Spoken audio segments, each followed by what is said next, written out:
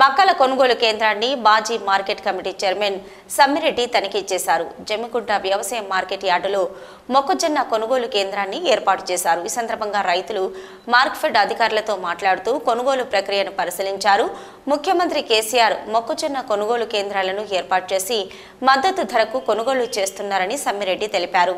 రైతులు దళార్లను నమ్మి తక్కువ ధరకు అమ్మి మోసపోవద్దని సూచించారు. మొక్కలను నేరుగా కొనుగోలు కేంద్రాలకు తీసుకుని వచ్చి మద్దతు ధరకు అమ్ముకోవాలని తెలిపారు. తేమ పేరుతో రైతులను ఇబ్బంది పెట్టవద్దని మార్క్ఫెడ్ సిబ్బందిని హెచ్చరించారు. ఈ కార్యక్రమంలో సమ్మిరెడ్డితో పాటు బీఆర్ఎస్ నాయకులు కార్యకర్తలు తదితరులు పాల్గొన్నారు. పెద్ద మార్కెట్ జమ్మికుంట మార్కెట్ యార్డ్లో గత నెల రోజుల కింద మొక్కజొన్న రైతాంగం ఈ ప్రాంతంలో పండించిన రైతులు మొక్కజొన్న అమ్ముకోవడానికి మరి పాత మార్కెట్లో ఒక పక్క వడ్లుండే ఇబ్బంది అయిందని చెప్పి కొత్త మార్కెట్ యార్డ్లో మార్కెట్ ప్రభుత్వ కొను కొనుగోలు సంస్థ మార్కెట్ సంస్థ కొనుగోలు ప్రారంభించింది. మధ్య ధర పంతొమ్మిది వందల అరవై రూపాయలు. ప్రభుత్వం ద్వారా మరి ముఖ్యమంత్రి గారు భరోసా ఇవ్వాలి మక్క రైతులకు కూడా ఆదుకోవాలనే ఉద్దేశంతో ముఖ్యమంత్రి గారు మూడు వందల కోట్లు మార్కెట్కి ఇచ్చి మరి కొనుగోలు చేయాలనే ఉద్దేశంతో ఇక్కడ కొనుగోలు చార్జ్ చేస్తాం.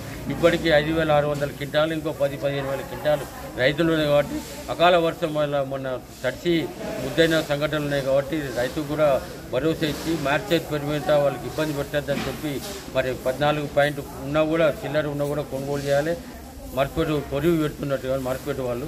అది అలాంటి ఇబ్బంది లేకుండా మార్కెట్ అధికారులతో కూడా నేను మాట్లాడిన అగ్రికల్చర్ ఆఫీసర్లు కూడా సర్టిఫై చేసి రైతులు ఈ పంట పండిళ్ళు ఈ ఈ భూమిలో ఈ పంట పండించిన సర్టిఫై చేస్తే ఇబ్బంది లేకుండా వాళ్ళకి చెక్కులు ప్రభుత్వం మద్దతు ధర దొరుకుతుంది కాబట్టి జమ్ముకుంటా